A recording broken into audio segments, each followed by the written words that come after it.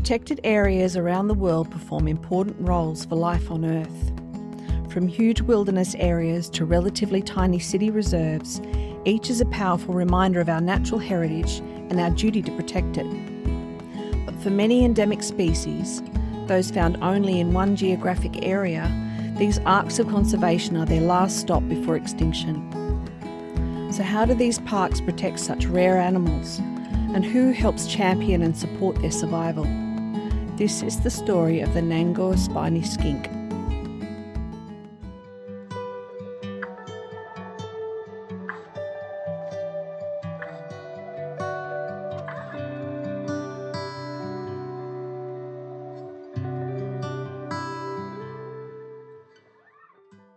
Hi, I'm Dan Ferguson from the Department of Environment and Science. I'm here today to talk to you about the critically endangered Nangur spiny skink. It occurs just outside of Gympie in southeast Queensland. So the Nangur spiny skink is roughly 20 centimetres long. It's a very cool little skink that has almost tiger stripes on its back. It lives in a single entrance burrow. In our research we've found that the skinks don't move very far from their burrow. They rarely venture more than about one metre away from the burrow entrance. Um, the females in particular, the males will move around, particularly during breeding season. So in late January to early February, the female will give birth to anywhere between one and, and four live babies. So we know that the babies often stay with the mother after she's given birth to them, they'll stay in the home burrow and, and, they'll sit on top of her back and dart out for food along with the mother. So we've been monitoring some of these skinks now for well over 10 years and some of the same animals uh, are about 13 years old and at this stage we don't actually know how long they live for. We're guessing that it's probably in the range of about 15 to 20 years. The skink's quite spiny, which is where it gets its species name from, Nangura spinosa. So that, that indicates how spiny its body is and particularly its tail. It's almost crocodile-like in, in its appearance in some ways. So we, we find that the Nangur spiny skink is quite active in the dusk and dawn periods, so between about when the sun sets and a couple of hours after. They're only found in this semi-evergreen vine thicket that I'm standing in today. We're not 100% sure why, but it's probably got a lot to do with the soil types and the climate, so it's quite a lot cooler. We also find a, a lot more invertebrate activity which forms a, a really good part of their prey. Semi-evergreen vine thicket is characterised by lots of vines obviously, but also uh, it has a lot of hoop pine overstory as well. And historically, over 90% of this sort of habitat has been cleared throughout the Gympie region and, and beyond even.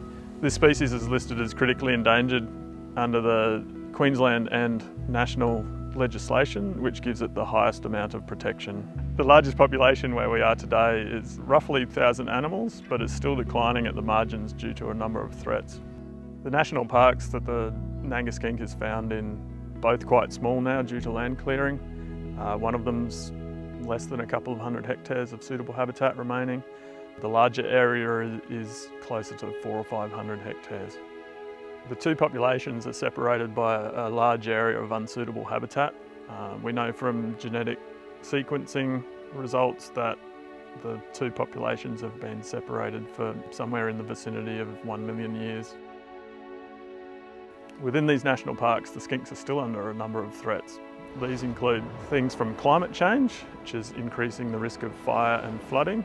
The forecast for this Gympie region is, is for increased fire weather conditions and increased drought periods with excessive rain periods following those droughts. Rainfall averages are dropping, um, which seems to have a trend of pushing a lot of particularly young Nangur spiny skinks down lower into drainage lines, presumably chasing moisture. And then in 2022, we saw extreme rainfall events that, that created flooding through those drainage lines, which washed away a number of the burrows that we had been monitoring.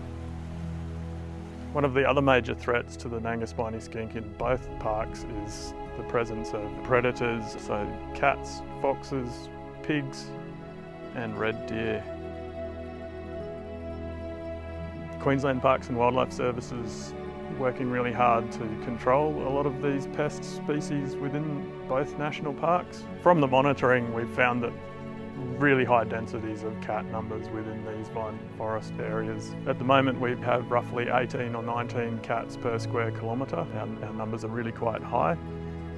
So cats and foxes will directly predate on the, the skinks at their burrows. In areas where we don't have very many skinks, uh, we've placed cages over the top of the burrows which protect the skinks. The cages also stop trampling from red deer that move through these areas which introduce a lot of weed species as well. So weeds are also another big issue for the Nangur spiny skink. The understory of the semi-evergreen vine thickets where the species occurs is generally quite open. Um, we have a couple of really nasty ecosystem modifying weeds, cat's claw creeper and coralberry, which totally change that understory and, and close it out. The cat's claw creeper will climb the trees and, and eventually modify the ecosystem. It shades out the ground layer and prevents the skinks from being able to bask outside their burrow entrances. Coralberry does something very similar where it's you end up with quite a sea of, of coralberry underneath the semi-evergreen vine thicket. Another threat that we're still investing a lot of research into currently is the threat of disease. There's a lot of reptile diseases that are emerging within reptile populations right across Australia at the moment and a number knocking on the door of Australia as well. We're currently looking into what reptile diseases might be a threat for these Nangur spiny skinks and conduct regular health checks of both our captive population and some of these wild animals. So disease is one of the reasons why we don't disclose the location of where Nangur spiny skinks occur.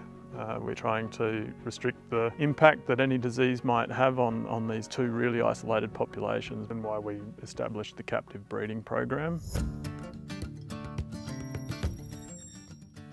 Hi, my name's Lisa Owen and I've been managing the captive breeding program of the Nangur spiny skink for just over three years now.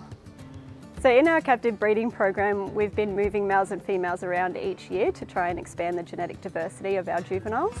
And given the size of them, it's really hard to identify the different animals um, when there's multiple in each bay. So we've been using different colours to identify them. However, we are just about to instigate some mini microchips being inserted here to identify the individuals. There's a lot we still don't know about these skinks, so we're doing some really exciting research um, on this captive breeding program. So we're monitoring the skinks in captivity. We've got cameras on each one of the bays and we've actually observed some really interesting behaviours over the last few years that we're going to look into more.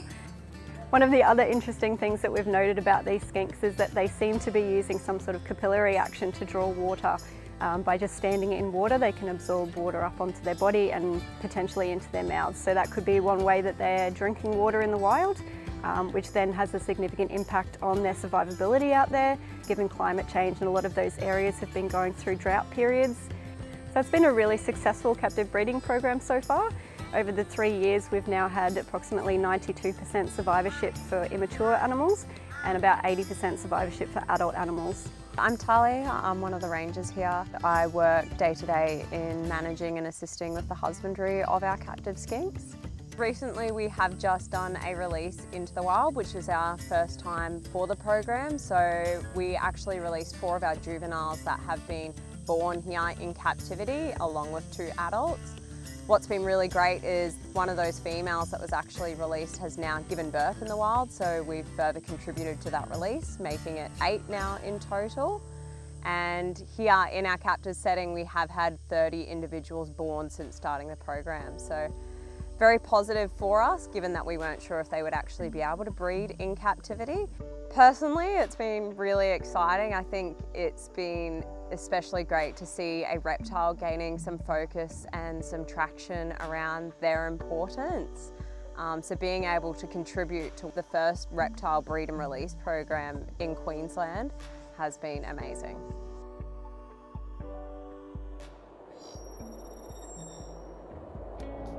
My name's Daryl Bell, I'm Queensland Parks and Wildlife Ranger. Uh, we're currently in the Nangur skink habitat doing some weed control work. We've got four land care staff working alongside Queensland Parks and Wildlife Rangers. We're using secateurs and chemical and then future projects will be focusing on the carpeted areas where we'll be targeting the cat's claw with spray packs, low impact spraying so we don't impact the Nangur skink habitat.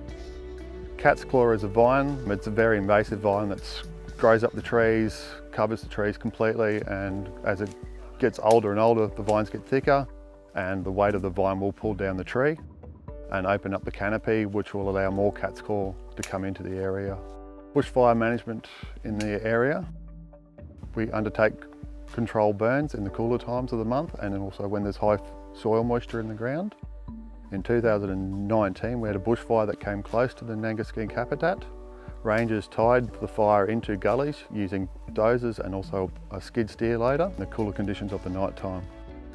Queensland Parks and Wildlife officers do control burns in the cooler time and we try to use Indigenous practices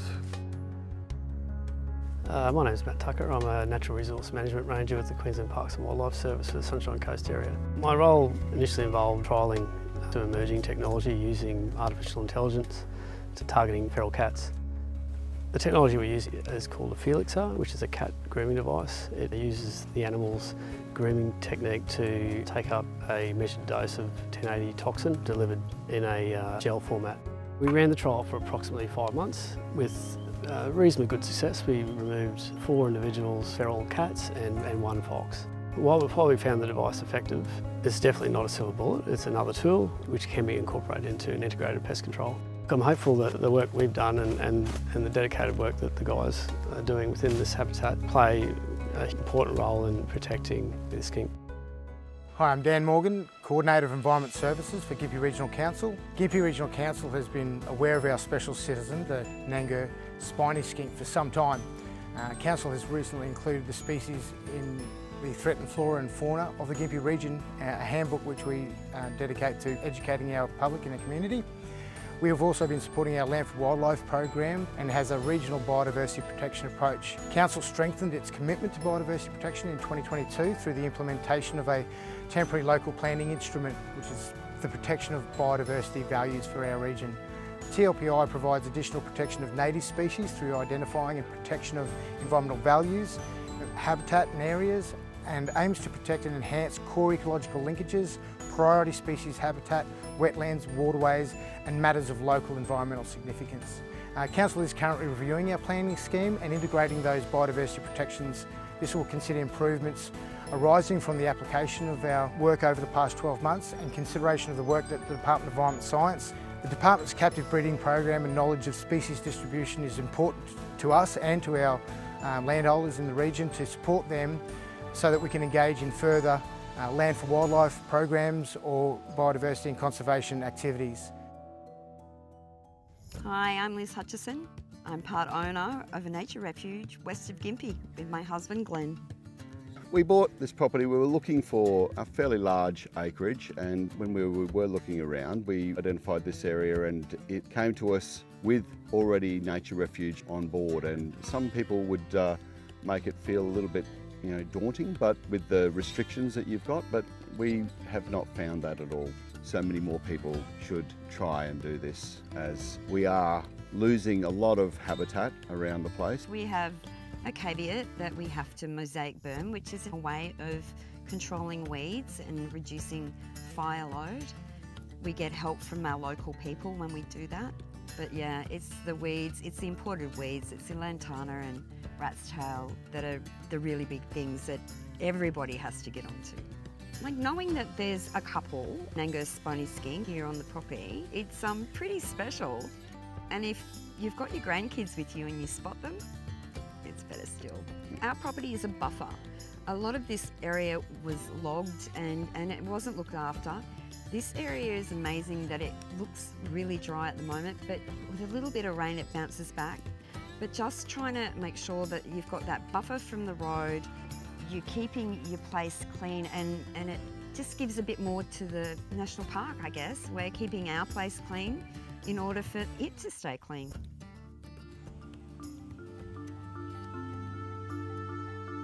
Wanyanullum.